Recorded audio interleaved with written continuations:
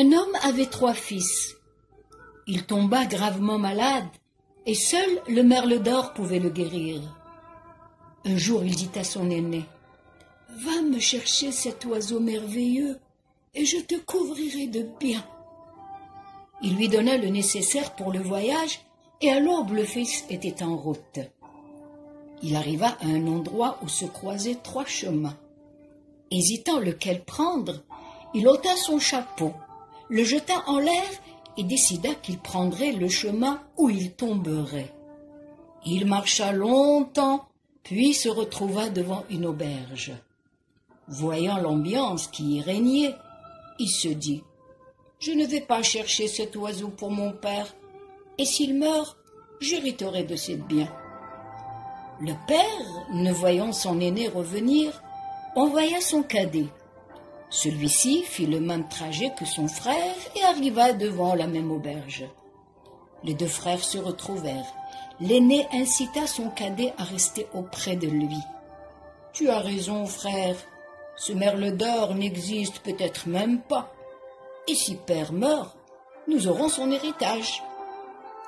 Ils menèrent vie joyeuse dans la contrée, dépensèrent tout leur argent, s'endettèrent même auprès de l'aubergiste qui les retint en otage.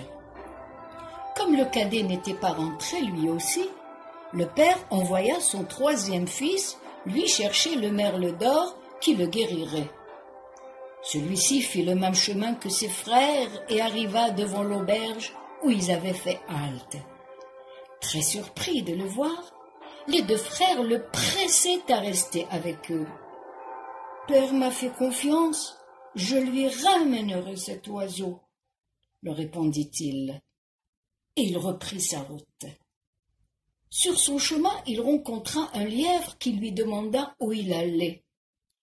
Chercher le merle d'or. Mais c'est trop loin. Il te reste plus de sept mille lieues pour y arriver. Allez, monte sur mon dos. Je vais t'y conduire, lui dit le lièvre.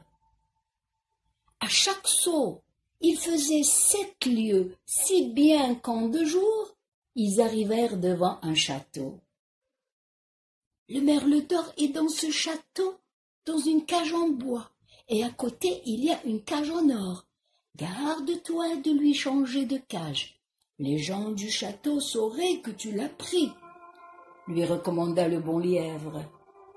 En effet, le lièvre était dans une cage en bois on aurait dit qu'il était mort.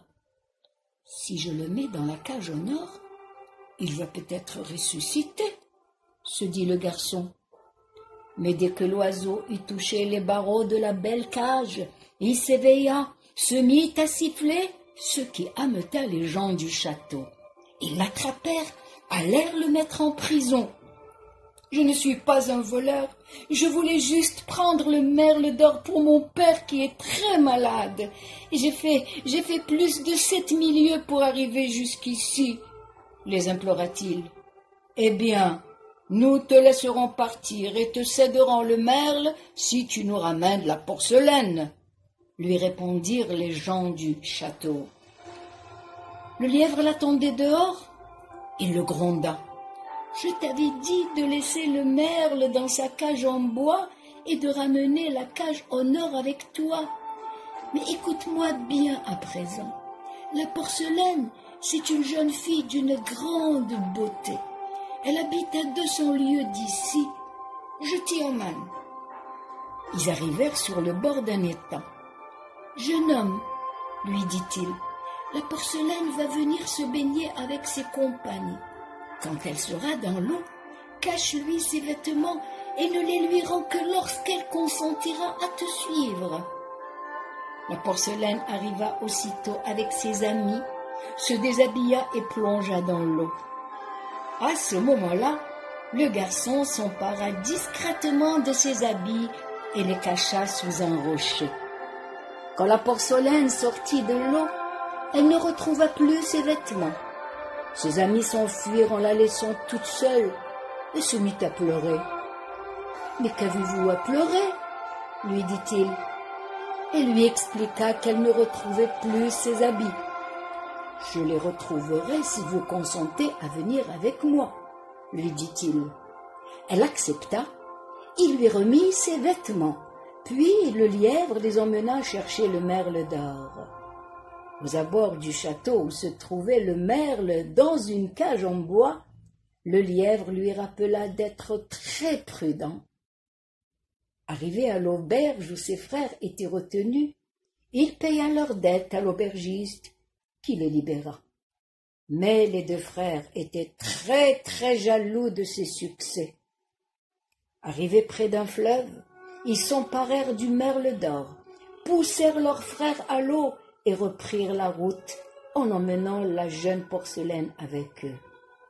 Ils croyaient s'être débarrassés de lui, mais le bon lièvre était là et la secourut.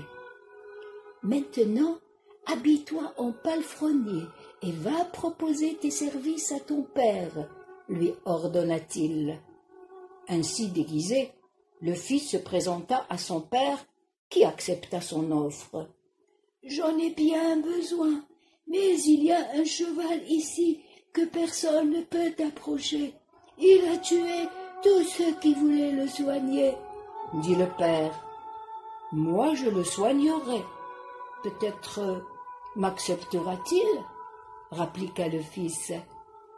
Le cheval se laissa penser, câlina même le jeune homme, ce qui étonna le père. Quelques jours plus tard, le père lui annonça. Mes fils ont ramené un merle d'or qui ne siffle pas et une jeune fille, belle comme le jour, mais elle égratigne tous ceux qui l'approchent. Peut-être réussirez-vous à la séduire. Le père l'emmena dans une chambre. La perso porcelaine le vit, lui souria et chanta d'allégresse, et le merle se mit à siffler joyeusement. Agréablement surpris, le père demandait explication à cela. Alors, alors le fils déclina son identité et raconta l'histoire du début à la fin, n'omettant aucun détail sur la traîtrise et la cupidité de ses frères. Ému, le père embrassa son fils, lui légua tous ses biens et fit tuer ses deux fils indignes. Le jeune homme épousa la porcelaine. Ils vécurent très heureux auprès du Père qui retrouva sa santé.